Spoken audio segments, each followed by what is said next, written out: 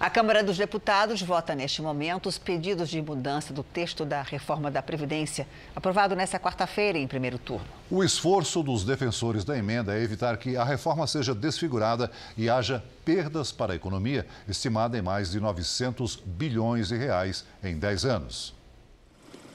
Foi preciso um dia inteiro de novas articulações entre líderes partidários e também com a equipe econômica do governo para a retomada das votações de primeiro turno da reforma da Previdência, o que só foi possível às 5 e meia da tarde. A pausa forçada começou nesta quarta, logo após a euforia da vitória do texto base da reforma por 379 votos favoráveis.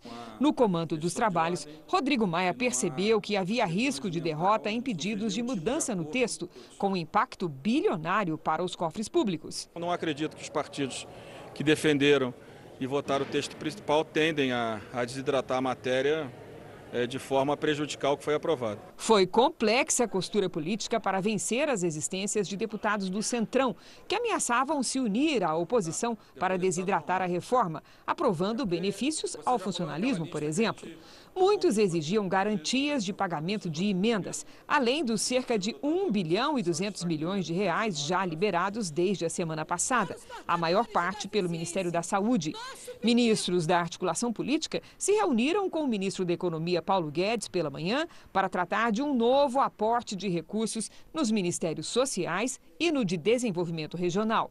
A ideia é atender às emendas dos deputados através de um projeto de lei do Congresso Nacional, PLN. A gente está trabalhando no, no PLN para que é, os valores todos, tudo que a gente foi, tudo que foi acordado, é, seja discutido através do PLN. Fechou-se acordo para mudar o texto da emenda da Previdência em pelo menos dois pontos, o que melhora a regra de cálculo da aposentadoria das mulheres. Elas passam a ter direito a 60% do valor do benefício após 15 anos de contribuição e não após 20 anos.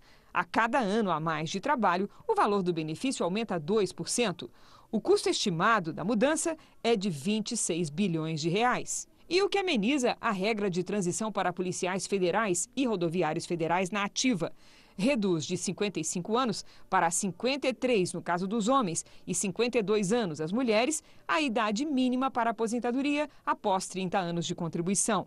Estabelece um pedágio de 100%. Por exemplo, quem está há dois anos de se aposentar terá de trabalhar por mais quatro anos. A alteração custará cerca de um bilhão de reais, segundo estimativas. O desafio de votar 11 destaques e três emendas para concluir o primeiro turno só deve ser vencido na madrugada. Os defensores do texto base tentam evitar que a reforma seja desfigurada, com mudanças que esvaziem o seu impacto fiscal.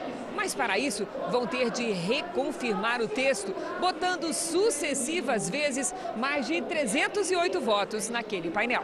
Agora à noite, o plenário confirmou o acordo feito com a bancada feminina e aprovou mudanças na fórmula de cálculo da aposentadoria por 344 votos favoráveis. Viúvas também não poderão receber pensão menor que um salário mínimo.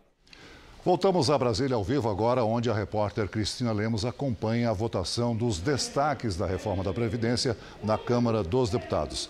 Cristina, boa noite. Há previsão de mudança de novo no texto?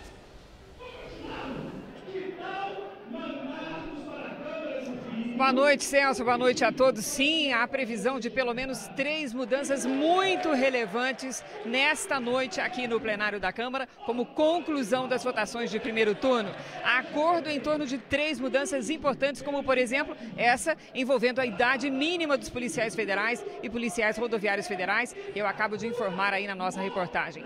Outra mudança reduz a idade mínima para professoras. No texto do relator, essa idade mínima era de 50 57 anos, passará a 55 anos, também com 100% de tempo para pedágio, ou seja, quem deve dois anos para chegar à aposentadoria terá de trabalhar quatro, por exemplo.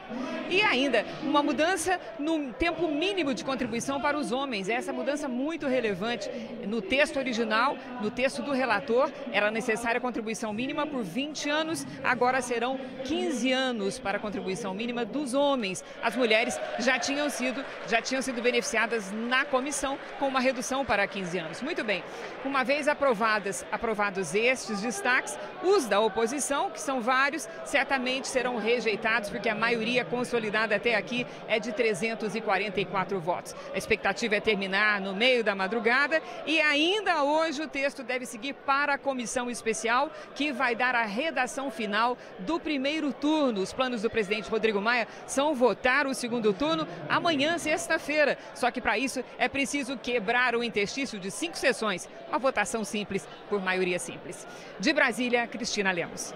Obrigada, Cristina. Bom trabalho para você.